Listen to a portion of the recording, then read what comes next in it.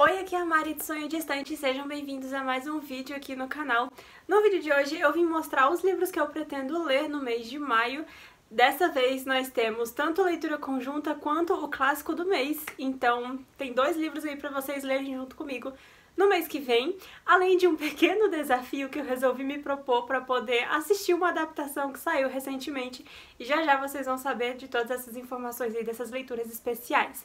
Então se você não é inscrito aqui no canal, chegou agora, esse é o primeiro vídeo que você está assistindo, já se inscreve aqui embaixo logo no começo do vídeo para você não perder. Eu te garanto que aqui tem vídeos muito legais, tá?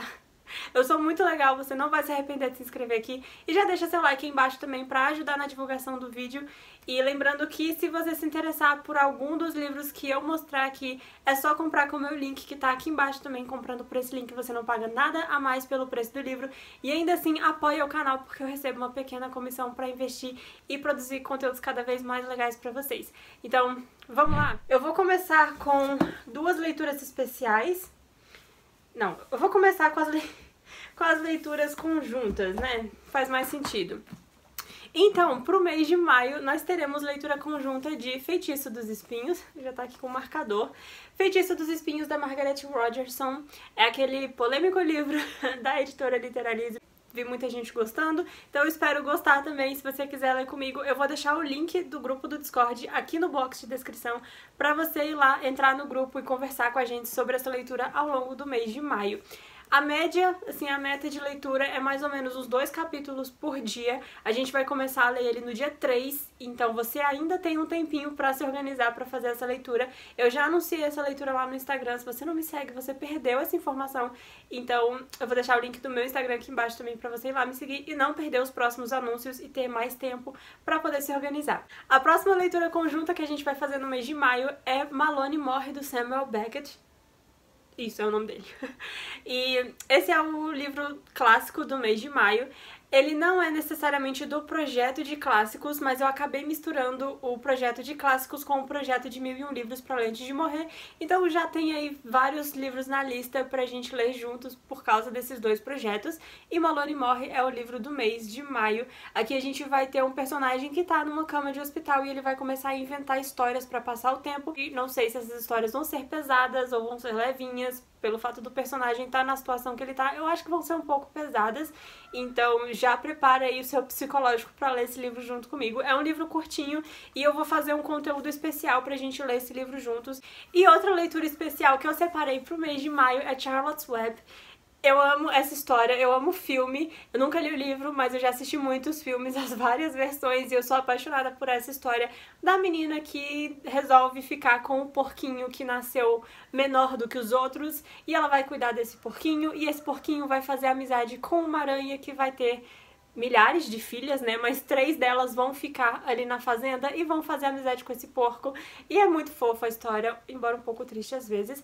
E no mês passado, em abril, eu li o meu primeiro livro em inglês e eu fiquei muito animada e resolvi colocar esse daqui. Mesmo tendo muitos outros livros na TBR, eu coloquei esse daqui porque é, eu vi que leitura em inglês não me empaca. Assim, eu li Rain em uma semana e aí eu tô é, com a expectativa de que eu vá ler esse daqui bem rapidinho também, não vai empacar a minha TBR, então tá tudo certo. O desafio especial que eu vou me propor no mês de maio, na verdade são dois. Eu vou mostrar aqui o primeiro, que é novo, o outro vocês já conhecem, da minha loucura de todos os meses que eu faço e nem sempre cumpro. Mas o desafio especial do mês de maio é ler a trilogia Grisha para poder assistir a adaptação. Sim, eu quero muito ler esses livros logo. Eu comprei a trilogia é, usada pelo Mercado Livre no preço mais acessível que eu achei para poder ler logo. Só que eu costumo planejar as minhas leituras antes do ano acabar. Então, ano passado, no final do ano passado, novembro, dezembro, eu já tinha todas as minhas leituras desse ano planejadas e aí eu tive que furar a fila com a trilogia Grisha porque eu quero muito assistir a série, parece ter uns efeitos bem legais e eu acho que eu vou gostar da história. Então, eu vou trazer um vlog com o desafio lendo essa trilogia. Eu não vou falar o tema do desafio, só quero dizer que eu quero ler essa trilogia inteira no mês de maio. E eu fiquei surpresa com o tamanho dos livros, porque eu pensei, olhando assim, parece que eles têm umas 300, 400 páginas, mas aí eu vi que ele tem 287, então parece ser bem rapidinho de ler. E aguardem aí, ativa as notificações para ficar sabendo quando sair o vlog de leitura dessa trilogia, porque vai ser um desafio que eu vi na gringa e aí eu tô ansiosa para fazer também, porque eu adoro um desafio, porque me força a ler mais e eu me sinto mais leitora. Óbvio que não poderia faltar um livro de Star Wars nessa TBR, não é mesmo? No mês passado eu terminei a leitura de Traum, que era um livro que eu devia ter lido em janeiro. Por causa de Traum, eu fiquei fevereiro, março e abril sem escolher um livro novo da minha TBR do projeto de Star Wars. Então agora que eu terminei Traum, eu pude escolher um livro novo e eu escolhi Tarkin. Tarkin é um dos livros que eu já devia ter lido também, e então eu escolhi ele. Eu tenho algumas opções de livros dessa que fazem parte desse projeto que eu já deveria ter lido, mas eu não vou ler eles agora na ordem que eu tinha me proposto antes, porque eu acho que agora também não faz muita diferença, já que eu já passei pelo mês de leitura deles. Eu escolhi Tarkin porque o personagem é citado em Traum e aí eu acho que as histórias vão fazer uma ligação interessante. Não sei se o Traum vai aparecer aqui, mas se aparecer vai ser ótimo também, e aí eu acho que eu vou poder ligar alguns pontinhos aí entre essas duas histórias. Sem falar de alguns outros livros que ele já apareceu também, então já li, já vi muitos personagens falando sobre esse personagem, então tá na hora de ler o livro dele. E aí o nosso desafio especial de 7 em 7, né, de ler 7 livros em 7 dias, no mês de maio é o mês que eu costumo ler romances de época, embora eu não tenha mostrado nenhum até agora, mas eu vou mostrar sete romances de época que eu pretendo ler na teoria vai dar certo, mas é aquele negócio, né? No papel tudo dá certo, nas contas tudo dá certo, mas a hora que vai colocar em prática não é bem assim. Então eu separei aqui sete romances de época pra ler aí no mês de maio, em alguma semana, que eu ainda não sei se vai ser a primeira semana, a segunda semana, enfim, eu só sei que eu quero muito ler esses livros e eu espero que dê certo. Romance de época geralmente eu leio mais rápido. E por que, que eu leio romance de época em maio? Em maio eu leio mais romance de época do que no, no resto do ano, porque tem um negócio que eu ouvi aí algum dia, que maio é o mês das noivas, que parece que alguns séculos atrás Maio era quando tinha a estação mais quente, o pessoal tomava mais banho e aí o pessoal casava mais, porque ficar num lugar, numa igreja com cheio de gente fedendo não dá, né? Então eu acho que é por isso que eu leio romances de época em maio, porque é mês das noivas, a gente sabe que as mocinhas sempre se casam no final. Então eu vou mostrar aqui pra vocês quais são os romances de época que eu quero ler no mês de maio. Começando por Belle Époque, Belle Époque, sei lá. Esse daqui a gente vai ter uma sociedade parisiense em que mulheres não consideradas bonitas são feitas de acompanhante para mulheres consideradas bonitas, para fazer essas mulheres bonitas parecerem mais bonitas ainda. E a nossa protagonista, ela vai ser uma dessas acompanhantes que faz a, a outra menina parecer mais bonita ainda.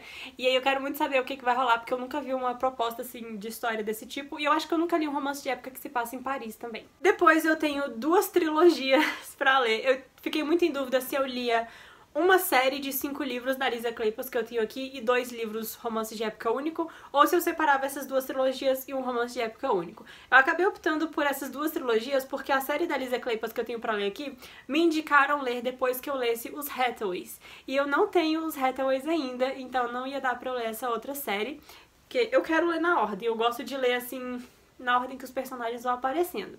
Então, vou mostrar essas outras trilogias que eu separei para ler no mês de maio. Eu não sei se está na ordem, provavelmente não. Então temos aqui A Filha do Conde, da Lorraine Heath. Não sei a sinopse desses livros, então não vou poder falar pra vocês. Desejo e Escândalo, também da Lorraine. E Amor de um Duque, também da Lorraine. Eu não sei a ordem desses livros porque não tá dizendo. Também não sei se faz diferença ler em ordem ou não, mas eu quero ler na ordem, pelo menos de lançamento, porque faz sentido. E enfim. E aí os outros três livros que eu tenho aqui são da Suzanne Nock. Como Salvar um Herói, Como Encantar um Canalha e Como Se Vingar de um Cretino.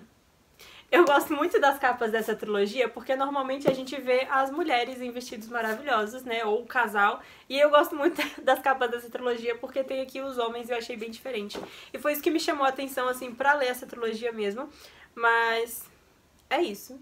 E por último, eu vou retomar a leitura de uma série que eu tinha começado a reler no ano passado para poder finalizar ela e acabei não conseguindo finalizar ela no ano passado, então me sobraram dois livros dessa série para ler e um deles eu vou ler agora em maio, que é Torre do Alvorecer, o livro do personagem que eu menos gosto na série. Eu tô com medo, mas já vi muita gente me falando que se eu não gosto dele na série, eu vou gostar dele aqui. E é isso, eu espero que eu goste mesmo, porque são 700 páginas, 640, 6, é, 640 mais ou menos. As expectativas não estão muito altas, então talvez o livro me surpreenda, porque eu não quero ir com a expectativa muito alta para me decepcionar lá no final e isso afetar o meu gosto, minha opinião sobre a série e sobre o personagem também. Então, tá aqui Torre do Alvorecer para ser lido em maio e poder dar continuidade à minha leitura da série Trono de Vidro. Então, essas são as minhas opções de leitura pro mês de maio. Eu digo opções porque, assim, não, não sei se eu vou ler tudo, né? Então, são as opções que eu tenho aí. As prioridades são os livros de projeto. Então, nós temos Star Wars, Charlotte's Web, que é do meu projeto de ler seis livros em inglês esse ano. É, Star Wars Charlotte's Web. Trono de Vidro é um projetinho, assim, atrasado do ano passado, né? Então, tenho que terminar esse projeto esse ano.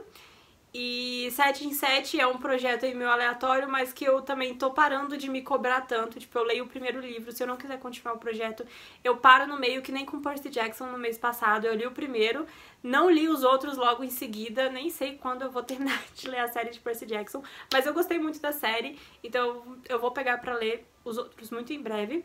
Mas tem alguns livros assim que se eu não tiver afim de ler, se eu ver que vai empacar minha TBR, que as minhas prioridades estão sendo deixadas de lado, eu vou deixar algumas outras leituras de lado para poder é, focar nas leituras que são mais importantes. Então, é isso. Esse foi o vídeo de hoje. Espero que vocês tenham gostado. Deixe aqui nos comentários se vocês vão fazer algumas dessas leituras comigo, se você vai ler Feitiço dos Espinhos, Malone Morre, Star Wars.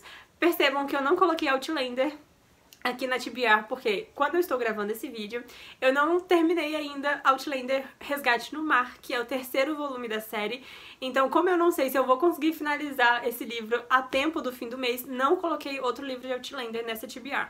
E provavelmente também não vou colocar durante, assim, no, no, decorrer do mês eu não vou acrescentar o livro de Outlander, o próximo, né, o volume 4, porque já tem muita coisa que já tem um calhamaço nessa TBR, já tem livro em inglês, e vou deixar talvez pro mês de junho, que aí no mês de junho só tem o livro da nossa LC de 12 livros para esse ano, não vai ter o clássico, então já é um livro a menos de projeto e eu posso encaixar outro.